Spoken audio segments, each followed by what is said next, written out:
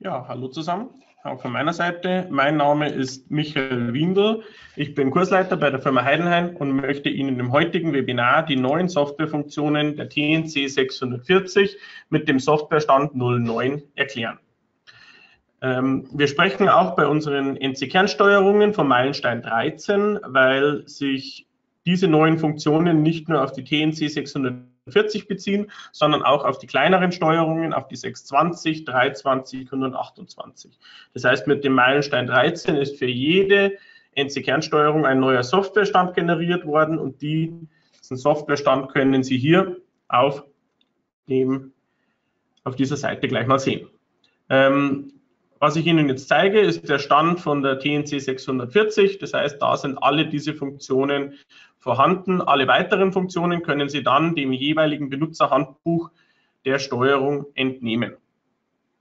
Wenn Sie während dem Webinar Fragen haben, dann bitte ich Sie, das Fragenfenster zu benutzen und hier Ihre Frage einzutragen und ich gehe am Ende des Webinars auf Ihre Frage dann ein.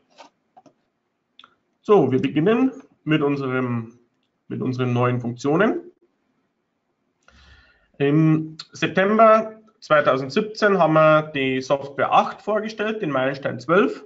Hier waren schon wichtige Funktionen wie die globalen Programmeinstellungen, werksorientierte Bearbeitung mit drinnen und auch neue interessante Sachen wie der Planschieber, der Batch Process Manager, wo hier enthalten sind. Ähm, Meilenstein 13 wird jetzt im Oktober freigegeben. Vorgestellt wurde er schon im September auf der AMB in Stuttgart. Hier beschäftigen wir uns jetzt speziell mit der Benutzerverwaltung, ähm, der sehr komfortablen Maschinenraumsimulation. Dann gibt es neue Zyklen zur Erstellung von Verzahnungen, also zur Zahnradbearbeitung. Und außerdem wurde der Batch Process Manager erweitert. Diese Funktionen schauen wir uns jetzt im Detail genauer an. Wir fangen an mit unseren Funktionen für die Verzahnungen. Hier gibt es einmal eine neue Option, das ist die Option 157. In dieser Option 157 ist jetzt alles verpackt, was ich für die Zahnradbearbeitung benötige. Früher war es ja so, da hatte ich einmal die, ähm, benötigte ich die Option Fräs drehen, weil der Zyklus 880 von der Zahnradbearbeitung fürs Abwälzfräsen im Fräsdrehpaket enthalten war und ich habe außerdem noch das, die Option fürs Synchronisieren von den Spindeln benötigt. Das heißt, ich habe zwei Funktionen benötigt, die eigentlich direkt nichts mit der Zahnradbearbeitung zu tun gehabt haben. Und deswegen gibt es jetzt eine neue Option, die Option 157 und das ist die Verzahnungsoption. Somit benötigen wir keine Fräsdrehmaschine mehr, um eine Verzahnung zu erstellen. Wir können die Verzahnung jetzt auch mit einer reinen Fräsmaschine erstellen. Voraussetzung, um auf Schnittgeschwindigkeit zu kommen, ist halt auch ein Rundtisch, der dementsprechend auch schnell drehen kann. So, es gibt jetzt verschiedene Zyklen. Es gibt einmal das Abwälzfräsen und einmal das Weltschälen. Also je nachdem, was wir für ein Zahnrad erstellen möchten, es, gibt es hier verschiedene ähm, Technologien, wie man das machen kann. Als erstes kommt der Zyklus 285. Dieser Zyklus 285 ist für die Definition des Zahnrads verantwortlich. Das heißt, hier werden lediglich die Randparameter vom Zahnrad eingegeben, nämlich der Startpunkt und Endpunkt in der axialen Achse, also in Z zum Beispiel, dann das Modul von unserem Zahnrad und die Zähnezahl. Das sind eigentlich die wichtigen Sachen, die ich fürs Zahnrad benötige. Und dann kommen noch zwei optionale Parameter, und auch noch das Kopfspiel und der Schrägungswinkel, den ich hier mit eingeben kann. Schrägungswinkel, je nachdem, ob es ein gerad verzahntes oder schräg verzahntes Zahnrad ist. Nachdem ich den Zyklus 285 programmiert habe, kommt als nächster Schritt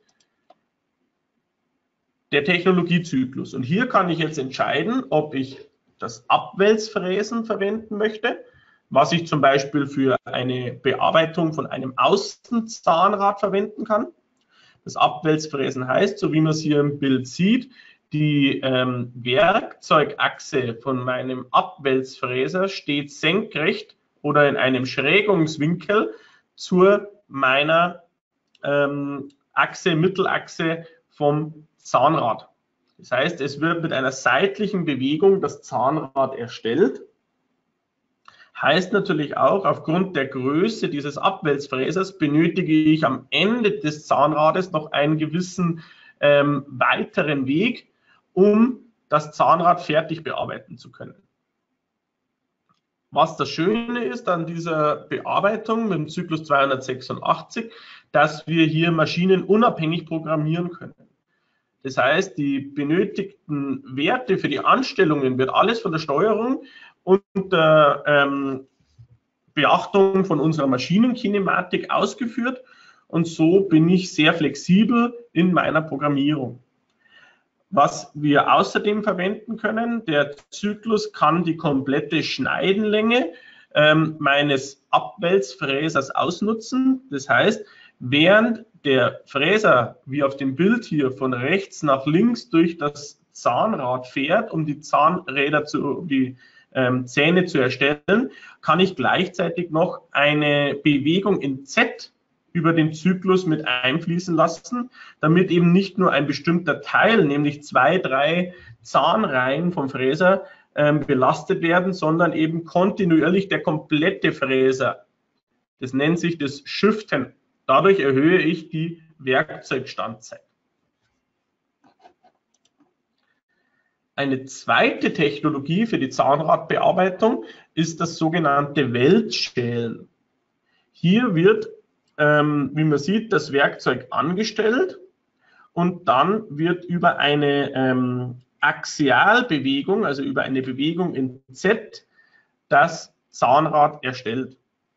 Diese, dieses Weltschälen bietet sich zum Beispiel für Innenverzahnungen an oder für Außenverzahnungen, wenn ich ähm, aufgrund der Bauform von meinem Werkstück eben nicht mit dem Abweltschälen arbeiten kann, sondern eben zum Beispiel relativ knapp hinterm Zahnrad einen Absatz habe, dann bietet sich das Weltschälen an. Das ist der Zyklus 287. Weltschälen, eine Alternative dazu wäre das Stoßen. Das heißt, beim Stoßen müsste ich dann jeden Zahnraum in kleinen Schritten manuell herausstoßen. Und das ist sehr aufwendig und dauert sehr lange. Da ist dann das Weltschälen schon sehr effektiver und schneller in der Bearbeitung. Programmierung ist ähnlich wie beim 286, beim Abwälzfräsen, auch hier wieder maschinenunabhängig. Das heißt, die Maschine, ähm, die Steuerung berechnet sich anhand der Maschinenkinematik automatisch die Achspositionen für die Rundachsen, damit das Zahnrad sauber erstellt wird. Bei beiden Zyklen, beim Zyklus 286 und 287, wird jeweils die Spindel synchronisiert. Das heißt einmal die Tischspindel, die das Werkstück bewegt, und einmal die Frässpindel, die das Werkstück, äh, Werkzeug bewegt, werden miteinander synchronisiert und so entsteht dann über die Z-Verfahrbewegung unsere Verzahnung.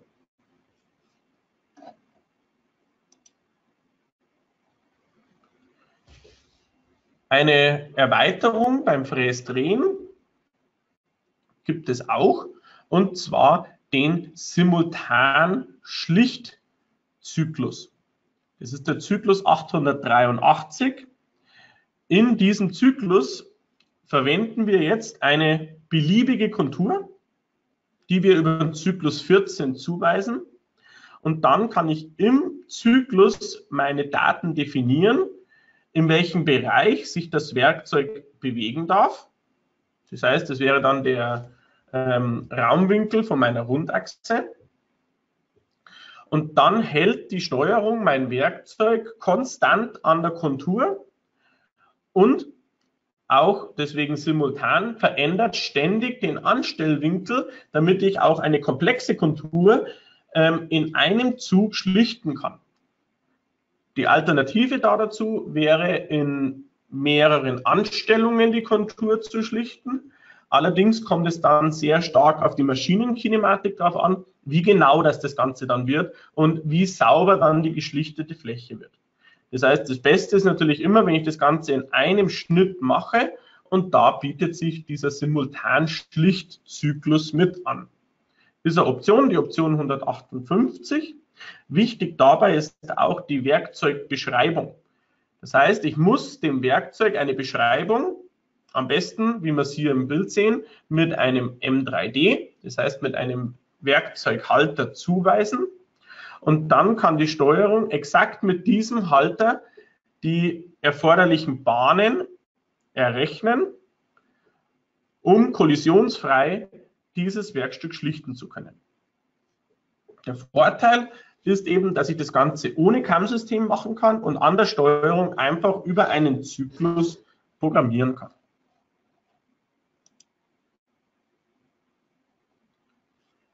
Wir haben auch neue Antastzyklen im automatischen Antasten.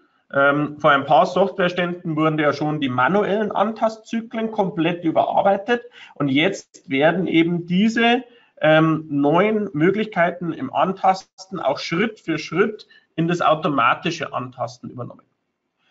Die ersten drei neuen Zyklen, die hier entstanden sind, sind die Zyklen 410, 4, äh, 1410, 1411 und 1420. Antasten Kante, Antasten zwei Kreise und Antasten Ebene. Wichtig ist, diese Zyklen können dann zum Beispiel auch eine 3D-Grunddrehung in die Preset-Tabelle mit eintragen. Ich kann innerhalb vom Zyklus verschiedene Modi programmieren, zum Beispiel einen halbautomatischen Modus. Halbautomatischer Modus heißt, dass ich die Steuerung dazu bringen kann, bei sehr kleinen diffizilen Teilen, da wo ein Vorpositionieren schwierig ist, was wir allerdings fürs Antasten ja benötigen, kann ich einen halbautomatischen Modus aktivieren. Das heißt, die Steuerung stoppt dann den Zyklus ab und ich kann mich manuell vorpositionieren und kann dann mit dieser Position weiter tasten. Somit erleichtere ich mir hier die Arbeit in meinem Antastbetrieb.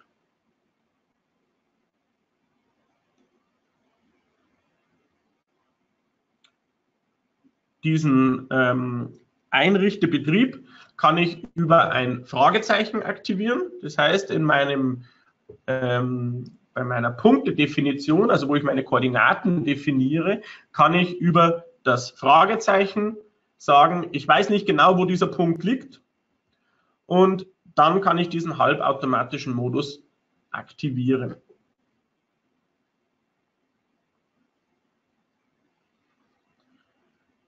Eine Erweiterung haben wir im Batch Process Manager. Der Batch Process Manager wurde ja mit der Software 8 eingeführt, um eben unsere Palettenbearbeitung zu erweitern und eine Auftragsplanung mit einzuführen. Das heißt, ich kann jetzt meine Paletten mit NC-Programmen bestücken und die Steuerung überprüft automatisch jedes NC-Programm, das auf dieser Palette liegt, ob es einen Fehler im NC-Programm gibt, ob der Verfahrbereich ausreichend ist, wenn ich den Preset mit angebe, ähm, ob die Werkzeuge alle im Magazin sind, ob die Werkzeuge in der Werkzeugtabelle sind und ob die Werkzeuge auch genügend Standzeit haben. Die Steuerung zeigt mir dann diese sogenannten manuellen Eingriffe an, zum Beispiel, wenn ich ein Werkzeug habe, das nicht im Magazin ist, dann ist es ja ein manuelles Werkzeug. Das heißt, da würde die Steuerung stoppen, würde zum manuellen Werkzeugwechselpunkt fahren und würde mich auffordern, das Werkzeug einzuwechseln. Das heißt, die Maschine steht dann. Und diesen manuellen Eingriff markiert mir die Steuerung im Batch Process Manager. Und so kann ich beispielsweise auch die komplette Nachtschicht durchplanen, indem ich immer wieder neue Teile auf meine Palette lade und so eben auch schauen kann, okay, wann endet die Bearbeitung? Okay, die Bearbeitung endet um 5.30 Uhr, dann kann ich noch ein Bauteil auf den Maschinentisch draufpacken, wenn Platz da ist und das noch eine Stunde zum Beispiel fräsen lassen.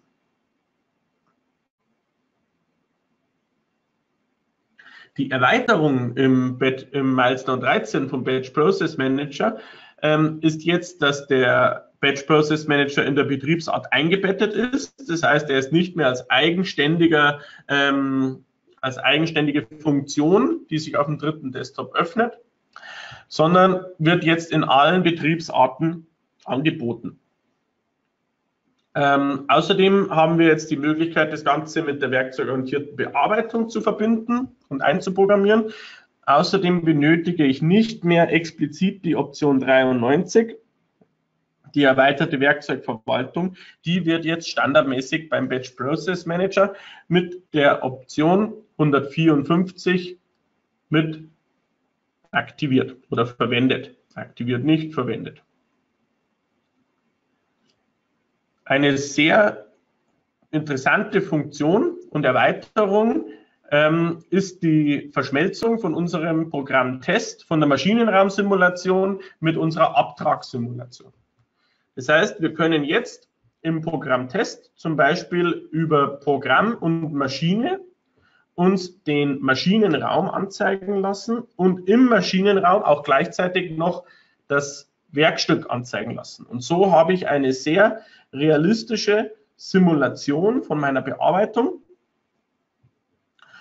und kann eben schon sehr frühzeitig auf eventuelle Kollisionen reagieren, die mir beim Schwenken, Fünfachsbearbeitung, Simultanbearbeitung entstehen können.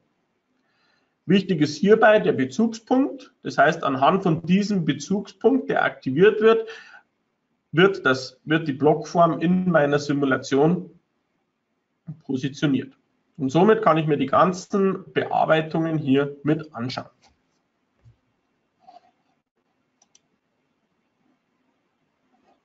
Auch sehr detailgetreu, auch Phasen können sehr gut erkannt werden und so kann man das Schritt für Schritt hier weiterarbeiten. Genau diese Simulation haben wir jetzt auch in der Satzfolge.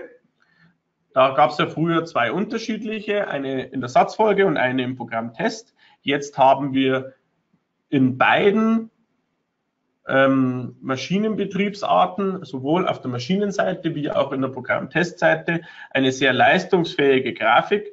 Und ich kann auch, wenn ich Kühlmittel verwende und alles Mögliche, ähm, eine sehr gute Sicht auf meine Bearbeitung haben ähm, und sehe eben so ähm, gleich, wo sich das Werkzeug befindet und wie viel Abstand ich eventuell noch zu einem Maschinenkomponente habe, ähm, was beim Freifahren auch sehr interessant ist. Die Darstellung kann ich ändern, das heißt über Maschine, Werkstück, Werkzeug kann ich verschiedene ähm, Vollansicht, Transparentansicht oder Volltransparentansicht oder beim Werkstück auch kein Werkstück anzeigen lassen. Und so kann man hier eben Schritt für Schritt unsere Simulation noch besser verwenden und noch, sicher die Programm, noch sicherer die Programme testen. Eine Erweiterung gibt es in den Plane-Funktionen. Und zwar kann ich ja in der Plane-Funktion über die Sequenz entscheiden, ob sich zum Beispiel meine Tischachse ins Minus bewegen soll oder ins Plus bewegen soll. Diese ähm, Sequenz hat sich allerdings immer auf die Achspositionen bezogen. Das heißt, bei den meisten Maschinen mit einer ähm, vertikalen Spindel hat das Ganze wunderbar funktioniert. Ähm, es gibt allerdings eine, einige Maschinenkinematiken mit einer horizontalen Spindel und einem AB-Rundtisch zum Beispiel. Und dieser Rundtisch kann entweder unterhalb von der Spindel betrieben werden oder auch über Kopf über der Spindel betrieben werden. Und damit man hier auch ganz normal mit den Plane-Funktionen programmieren kann, gibt es jetzt anstelle vom Sequence die neue Möglichkeit Sym. Sym bezieht sich auf den geometrischen Symmetriepunkt vom Verfahrbereich der Achse. Und somit kann ich jetzt auch solche ähm, Maschinenkinematik mit einer horizontalen Spindel und einem AB-Schwenktisch zum Beispiel sehr komfortabel ähm, programmieren und kann jetzt auch die Überkopfvariante ohne einen Plane Axial einstellen. Genau, es gibt dann eben hier so verschiedene Verfahrbereiche, wo man eben sagt, okay, da würde es mit der ähm, Sequence Minus und Sequence Plus zum Beispiel keine Lösung geben. Ähm, und so kann man das hier über SIM wieder sauber einstellen. Ähm, bei den meisten Maschinen kann man weiterhin die SIM exakt gleich wie Sequence ähm, eingeben. Bei einigen Maschinen ist es eben dann vom Vorteil, wenn ich hier auf den SIM-Schalter wechsle, um eben die Möglichkeiten besser nutzen zu können.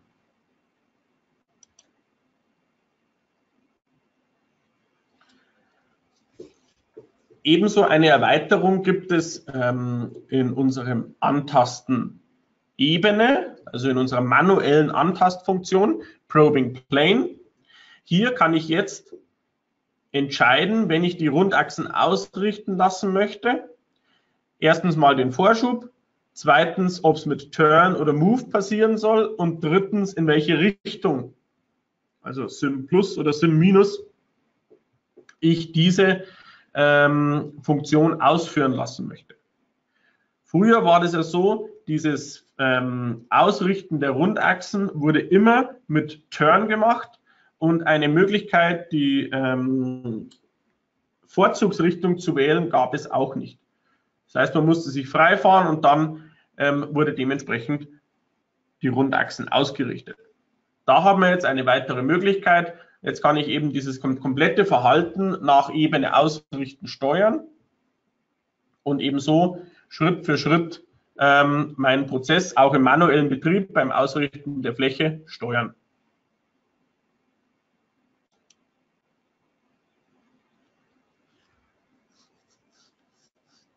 Sehr oft kommt die ähm, Frage auf, eine Rundachse steht nicht auf Null und ich möchte einen Bezugspunkt setzen.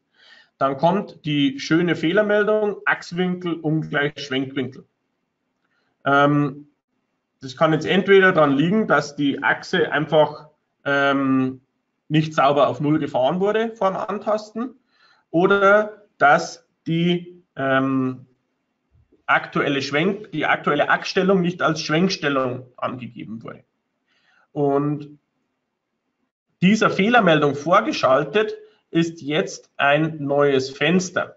Das heißt, wenn die Rundachsen nicht gleich der Bearbeitungsebene Schwenken angestellt sind oder eingestellt sind, dann erhalte ich eine Infomeldung oder ein Fenster, ein Auswahlfenster von der Steuerung. Und zwar, ob ich diesen aktuellen Achszustand, wie zum Beispiel in dem Beispiel hier, C 10 Grad, ob ich den als 3D Drehung übernehmen möchte oder ignorieren möchte.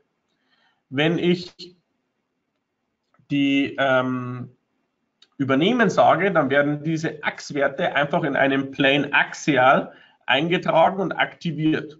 Das heißt, dann kann ich in dieser Stellung auch antasten.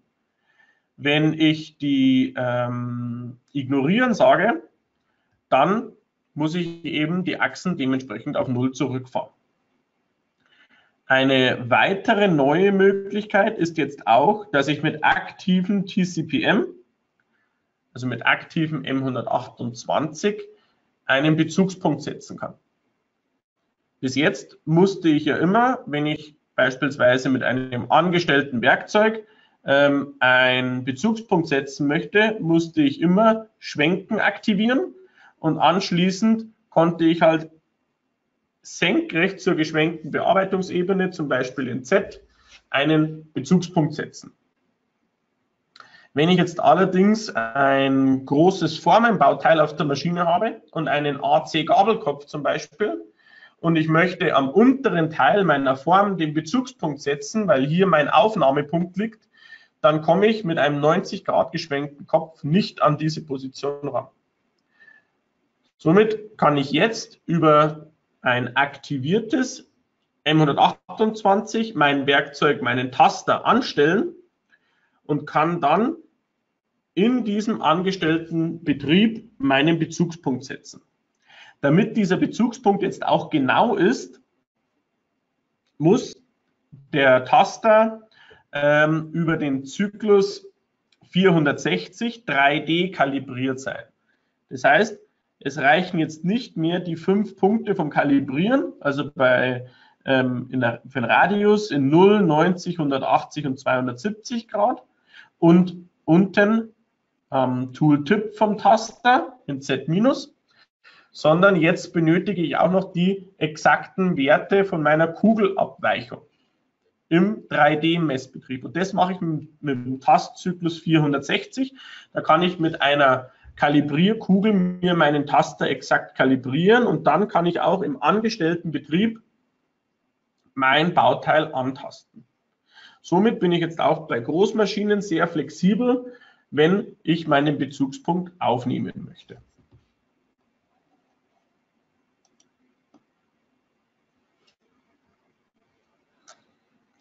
Eine Erweiterung gibt es auch im 3D-ROT-Menü. Bis jetzt war im 3D-ROT-Menü immer der Programmlauf und der manuelle Betrieb aufgeführt. Hier gibt es jetzt für jede Art ein aktiv bzw. inaktiv. Das heißt einmal Programmlauf, schwenken im Programmlauf aktiv, schwenken im manuellen Betrieb nur über Werkzeugachse aktiv, manueller Betrieb, schwenken komplett aktiv oder manueller Betrieb, Grunddrehung aktiv. Das sind jetzt verschiedene ähm, Möglichkeiten, was man hat. Manueller Betrieb, Grunddrehung ist neu. Das heißt, wenn ich den aktiviere, dann wird auch im manuellen Betrieb einer Grunddrehung nachgefahren. Und auf der rechten Seite sehen wir hier noch, was aktiv ist, Raumwinkel oder Achswinkel und die dementsprechenden Raumwinkel bzw. Achswinkel, was programmiert wurde. Das heißt, so hat man einen noch besseren Überblick über die kompletten Einstellungen von meinem Schwenken und übers 3D-Rot-Menü.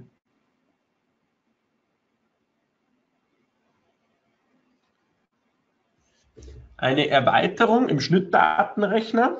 Über den Schnittdatenrechner kann ich ja, wenn ich beim Toolcall stehe, die Spindeldrehzahl oder im irgendwo bei Vorschub meinen Vorschub mir automatisch berechnen lassen über die Eingabe von Schnittgeschwindigkeit, Übernahme vom Radius aus der Werkzeugtabelle, über die Eingabe von Vorschub pro Zahn und Übernahme der Zähnezahl aus der Werkzeugtabelle kann ich mir hier den Vorschub ermitteln lassen. Was jetzt neu dazugekommen ist, ist die Möglichkeit, das Ganze auch in Verbindung mit Schnittdatentabellen zu machen. Das heißt, ich kann in der Steuerung verschiedene Tabellen hinterlegen. Einmal die TMAT-Tabelle mit den Werk, mit den Schneidstoffdaten, also Schneidstoffnamen. Dann gibt es die WMAT-Tabelle mit den Werkstoffnamen. Und dann gibt es noch die ähm, Verknüpfung dieser beiden ähm, Werte mit den passenden Schnittwerten. Das heißt, da steht dann drinnen, mit diesem WMAT und diesem TMAT, also mit diesem Werkstoff und diesem Schneidstoff, darfst du diese Schnittgeschwindigkeit fahren und diesen Vorschub pro Zahn. Und die kann ich dann meinem Werkzeug zuweisen. Das gibt es jetzt einmal ähm, Cut für Cut und einmal für Cut D. Das heißt, da kann ich dann durchmesserabhängig noch die ähm, Vorschub pro Zahnwerte mit eingeben. Und so bin ich hier wieder flexibler. Wenn ich mir diese Tabellen eingepflegt habe, muss ich eben nicht immer wieder im Handbuch nachschauen, was habe ich denn für Zerspannungswerte, sondern kann eben direkt auf die Tabelle zugreifen. Und die Steuerung rechnet mir dann diese Werte automatisch aus und passt sie dann an, meinen, an mein Material, an meinen Werkstoff mit an.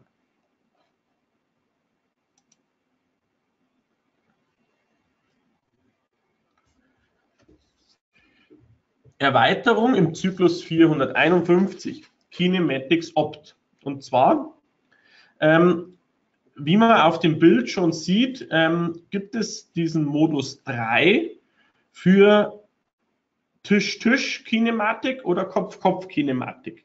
Für diese zwei Anwendungen macht dieser Modus 3 einen Sinn.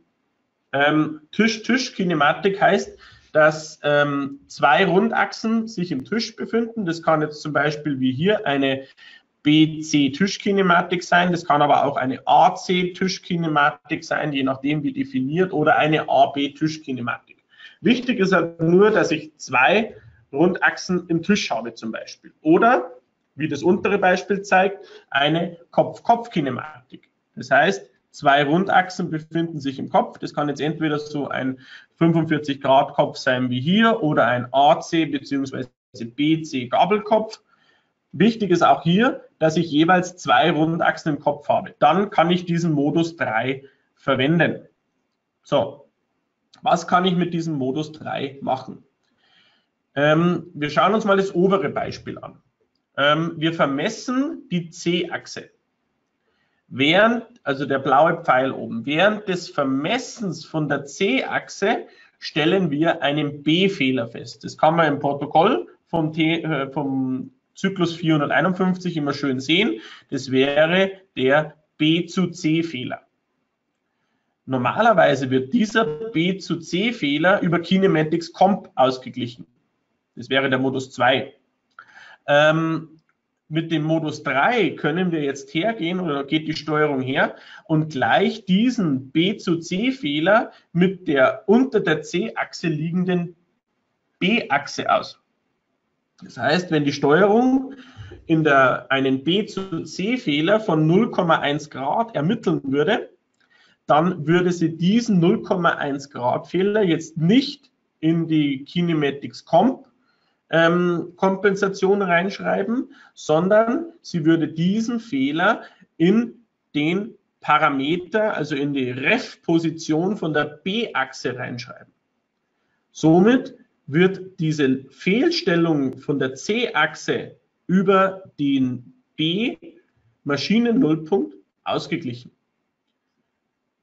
Vorteil ist dadurch, dass ich eben, dass dann der Tisch eben wirklich gerade steht und nicht softwaretechnisch kompensiert ähm, wird, sondern wirklich mechanisch dann auch gerade steht. Und das ist eben der Vorteil von diesem Modus 3, wo ich hiermit habe. Voraussetzung ist aber, dass ich das Ganze mit einer Kinematik ähm, mache, wo entweder zwei Rundachsen im Tisch oder zwei Rundachsen im Kopf sind. Also mit einer B-Kopf, C-Tisch-Kinematik funktioniert der Modus 3 nicht.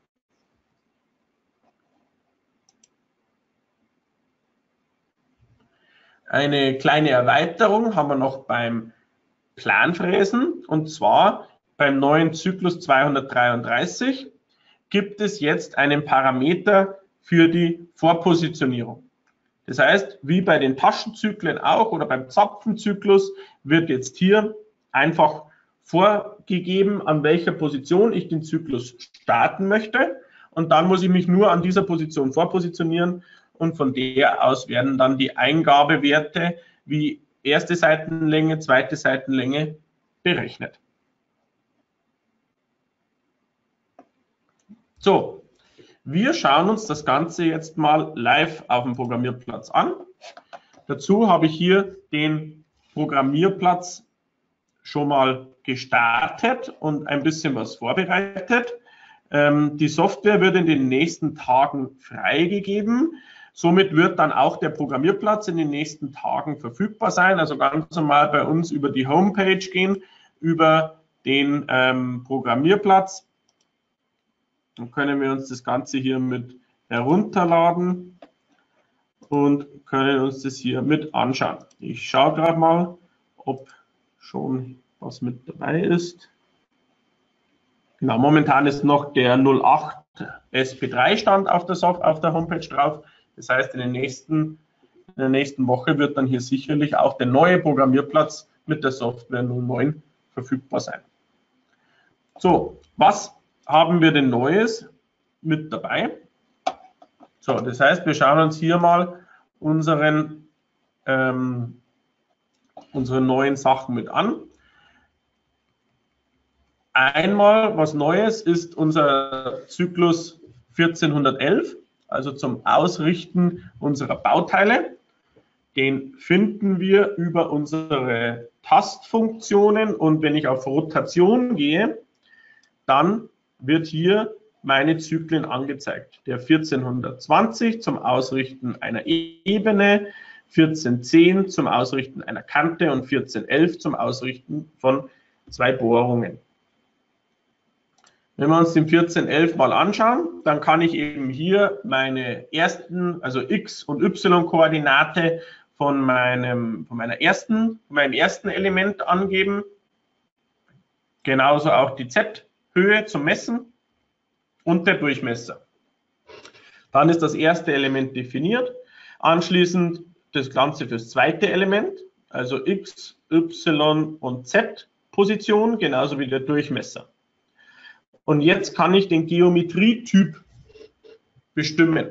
Also ob ich 0, zwei Bohrungen habe, 1, zwei Zapfen habe, 2, eine Bohrung, einen Zapfen oder 3, einen Zapfen, eine Bohrung. Das heißt, je nachdem, wie ich meine, was ich habe, kann ich hier entscheiden, was ich hier angeben möchte. Anzahl der Bohrung, äh, der Tastpunkte, Startwinkel, Öffnungswinkel, sichere Höhe. Dann, wie er die sichere Höhe anfahren soll, ob er minus 1 gar nicht auf der sicheren Höhe fahren soll, ähm, beim 0 auf der sicheren Höhe beginnen soll und dann nicht mehr auf die sichere Höhe fährt, außer am Ende, ob er 1 nur innerhalb vom Element nicht auf die sichere Höhe fahren soll oder 2 immer auf die sichere Höhe fahren soll. So kann man das hier entscheiden, was man benötigt. Die Fehlerreaktion, gar kein Fehler, ob nur bei ähm, ob, ob immer, wenn außerhalb von der Toleranz ist, ein Fehler ausgegeben soll oder ob nur bei Ausschuss, also wenn zu groß oder zu klein ähm, gemacht wurde, also bei Untermaß, dass hier eine Fehlerreaktion ausgegeben werden soll. Dann Achs ausrichten, kann ich auch machen. Das heißt, je nach Achskinematik, nach Achsstellung wird hier die Rotation, die gemessene Rotation wieder ähm, kompensiert mit ähm, Move oder Turn. Dann, ob ich ähm, einen Bezugspunkt setzen möchte, den Bezugspunkt in der ersten Bohrung, in der zweiten Bohrung oder in der Mitte. Das heißt, wenn ich hier drei angebe, wird das Bauteil automatisch ausgerichtet und der Bezugspunkt in Mitte Bohrung gesetzt. Das heißt, da spare ich mir dann schon wieder einen Antastzyklus, indem ich ihm sage, okay, als erstes die erstes, das erste Element messen, dann das zweite Element messen und anschließend den Bezugspunkt mit Drehwinkel auf Mitte zwischen diesen beiden Elementen einbringen. Und was ich mit der Rotation machen möchte, 0, gar nichts, 1, Grunddrehung, 2 Fischdrehung. So kann ich entscheiden, was ich hier machen möchte. Das war die ähm, Möglichkeit mit den neuen Antastzyklen.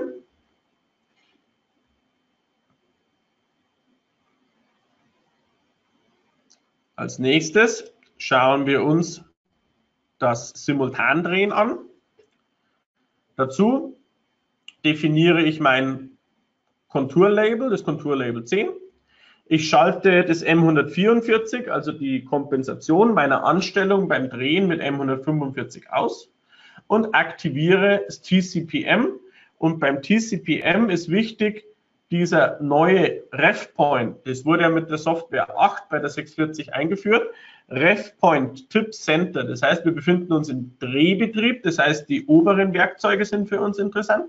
Tip Center heißt, dass das Werkzeug ganz normal als Orientation, zum Beispiel Tool Orientation 1, vermessen wurde mit XL und ZL und zwar so, dass der Punkt auf Mitte von diesem grünen Kreuz ist das Werkzeug vermessen und der Schneidenradius ist in der Werkzeugtabelle mit angegeben.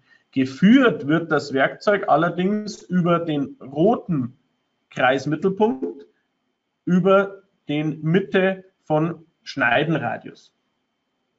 Und den muss ich aktivieren, damit ich eben hier meine Kompensation richtig ausgeführt wird. Und dann erfolgt der eigentliche Drehzyklus. Und hier werden jetzt verschiedene Werte definiert, wie zum Beispiel der minimale Anstellwinkel minus 20 und der maximale Anstellwinkel plus 60 von meiner Anstellachse. Der Winkelschritt von 2 Grad.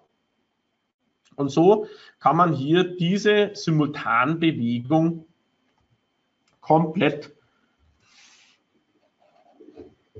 definieren. Die Steuerung berechnet sich dann automatisch die benötigten ähm, Verfahrwege und führt dann automatisch diese Bearbeitung aus. Als nächstes schauen wir uns jetzt noch das Zahnradfräsen an. Und zwar einmal der Zyklus 285. Hier definiere ich die Daten fürs Zahnrad. Einmal der Beginn in Z, Ende in Z, dann das Modul, das entnehme ich entweder meiner Zeichnung oder meinem Fräser, je nachdem, was man hier zur Verfügung hat. Anzahl der Zähne, dann optional, man sieht, es ist 0 drinnen, also optionaler Parameter, der Außendurchmesser bzw. Innendurchmesser, je nachdem, ob die Anzahl der Zähne positiv oder negativ definiert werden. Da, das entscheidet sich hier, ob ich eine Außen- bzw. Innenbearbeitung mache. Ansonsten ähm, kann ich hier noch meinen ähm, Kopfspiel mit angeben und meinen Anstellwinkel. Im Zyklus 287 ist jetzt unsere ähm, Wels, äh, unsere Shell-Bearbeitung. Und so können wir hier unsere ganzen Parameter eingeben, um unser Zahnrad zu ähm, definieren.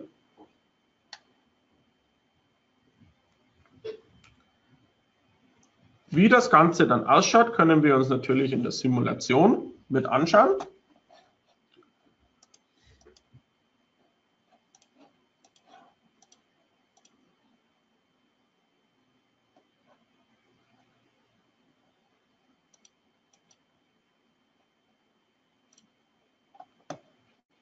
Genau, als erstes kommt der Taster. Also diese neuen Antastzyklen kann ich auch komplett simulieren. Man sieht jetzt hier, wie der Taster eben seine Messungen macht. Als nächstes kommt jetzt das Drehwerkzeug mit rein. Und jetzt kann ich eben jederzeit umschalten auf meine Maschine. Und jetzt habe ich eben auch in der Maschinensimulation meine komplette Ansicht mit dabei. Und kann eben hier jetzt im Maschinenraum alles mit simulieren und mir anschauen lassen und kann eben auch auf eventuell vorkommende ähm, Kollisionen gleich reagieren. Man sieht, das Werkstück schwebt noch ein bisschen in der Luft. Das heißt, momentan gibt es hier noch keine Möglichkeit der Spannmittelverwaltung. Das wird dann in die nächsten Softwareversionen mit reinkommen. So, jetzt werden die Bahnen fürs Simultandrehen berechnet. Da kommt so ein kurzes Überblendfenster. Und jetzt beginnen wir mit der Simultandrehbearbeitung. Das heißt, die Kontur, diese Außenkontur wurde jetzt in einem Label definiert in X und Z und der Simultandrehzyklus schlichtet mir jetzt in einem Zug die komplette Kontur mit Hinterschnitt und da kann ich jetzt zum Beispiel so ein neutrales Werkzeug verwenden. Ich kann aber auch einen Schlichtmeißel verwenden. Also die Steuerung berechnet sich das immer anhand der Schneidengeometrie.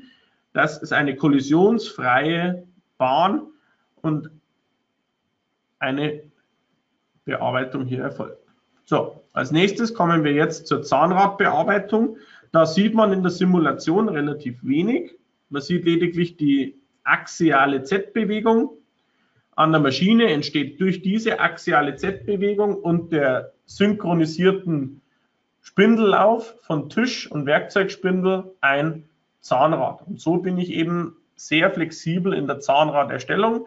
Für die Innenbearbeitung bietet sich immer das ähm, Weltschälen an. für die Außenbearbeitung kann ich entweder Weltschellen oder Abwälzfräsen wählen. Einfach programmiert über den Zyklus 285 und 286, äh 286 und 287. Definiert wird es über 285 zum Zahnrad definieren.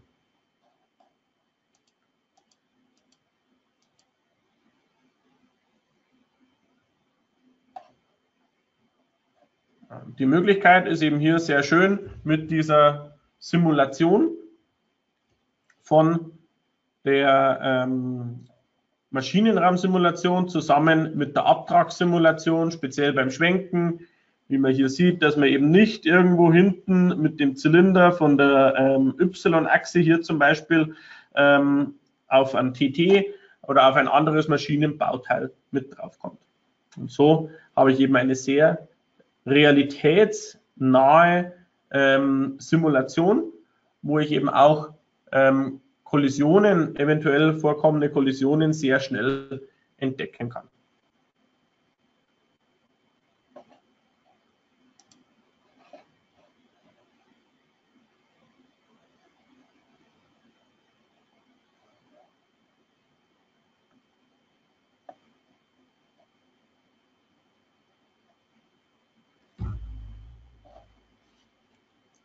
Genau. Wir können uns jetzt zum Beispiel noch in unserer Satzfolge anschauen.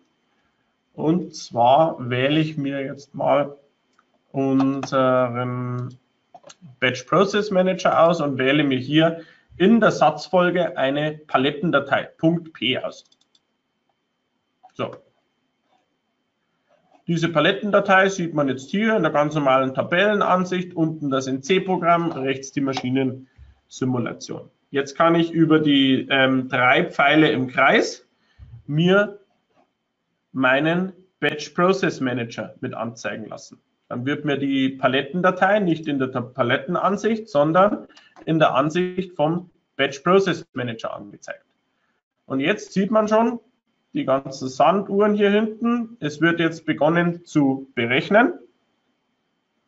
Das heißt, die Steuerung rechnet jetzt intern einmal alle Programme durch, um zum Beispiel die Bearbeitungszeit zu ermitteln und auch um festzustellen, sind alle Werkzeuge vorhanden, ähm, muss ich eventuell ein Schwesterwerkzeug einwechseln, ähm, und so wird jetzt hier eben Schritt für Schritt jedes Programm durchgerechnet und wird auch gleichzeitig noch gesagt, okay, wann endet denn dieses Programm? Das erste, wir sehen jetzt hier die erste Palette, ist durchgerechnet ähm, mit insgesamt 21 Minuten oder 23 Minuten Bearbeitungszeit. Da passt alles. Das heißt, der Bezugspunkt stimmt hier. Das heißt, mit diesem Bezugspunkt haben wir genügend Verfahrbereich. Ähm, dann alle Werkzeuge sind verfügbar und auch keine Fehler im NC-Programm sind da. Und so rechnet eben die Steuerung jetzt Schritt für Schritt diese ganze ähm, Bearbeitung durch. Dauert hier jetzt natürlich etwas länger, weil wir uns hier mit einem, auf einem Programmierplatz befinden, ähm, wo es jetzt hier einfach länger Rechenzeit benötigt. Es geht auf der Steuerung immer sehr flott, kommt natürlich auch auf die Programmgröße drauf an. Im Endeffekt muss die Steuerung das Ganze einmal durchsimulieren, im natürlich schnellsten Modus, wie es geht. Und so wird eben hier Schritt für Schritt das Ganze abgearbeitet. Man kann natürlich auch hergehen und in der Programmierbetriebsart, wenn ich jetzt zum Beispiel mir eine Palettendatei anlege,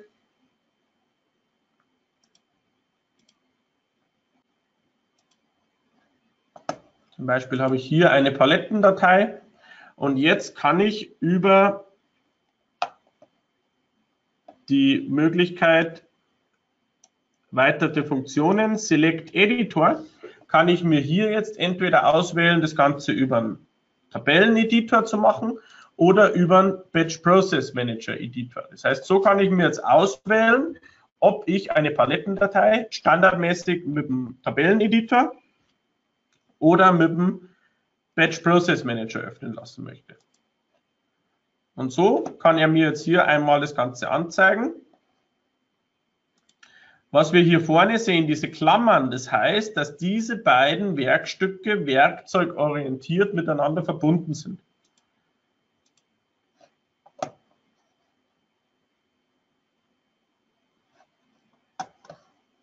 Und so kann ich mir jetzt hier beispielsweise eine neue Palette mit ein, Insert After, zum Beispiel eine neue Palette Insert, diese Palette soll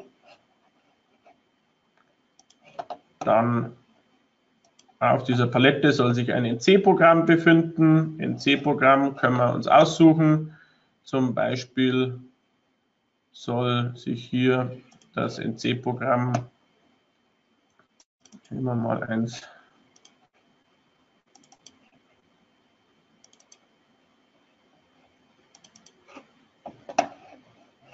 dieses NC-Programm befinden mit dem Bezugspunkt 2. Und diese Palette ist bearbeitbar, also verfügbar in der Maschine. Und dann rechnet er mir das ganze Programm mit durch und gibt mir dann dementsprechend eine Meldung aus, Programm ist in Ordnung oder Programm ist nicht in Ordnung. Und wenn ich dann diese Palette in den Batch Process Manager in die Satzfolge lade, dann wird auch noch überprüft, ob die Werkzeuge alle verfügbar sind. Das heißt, hier sieht man jetzt, aha, bei dieser Palette hier im Programm 7 beim Flange fehlt das Werkzeug die Reibale 10H7. Das heißt, das ist ein externes Tool, das ist nicht im Magazin vorhanden. Das heißt, wenn ich möchte, dass diese Programme wirklich bis um 5 vor 4, also in einer Stunde alle bearbeitet werden, dann muss ich noch schauen, dass dieses Werkzeug eingefügt wird. Ansonsten würde um 15.42 Uhr die Maschine stehen bleiben und auf dieses Werkzeug warten. Und so kann ich den Batch Process Manager dafür nutzen, um einfach meine Auftragsbearbeitung durchzuplanen und so Schritt für Schritt meine Maschine zu rüsten.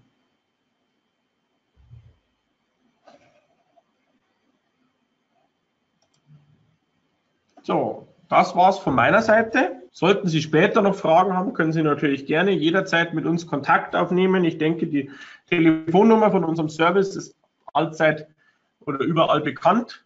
Die 08669 für Traunreuth, die 31 für Heidenhain und dann die 3103 für unsere NC Programmierhelpline oder einfach eine E-Mail an die 3103 at heidenhain.de. Dann bedanke ich mich für Ihre Aufmerksamkeit. Ich wünsche Ihnen noch einen schönen Tag und ich würde mich freuen, wenn wir uns dann beim nächsten Webinar wiederhören. Bis dann und auf Wiederhören.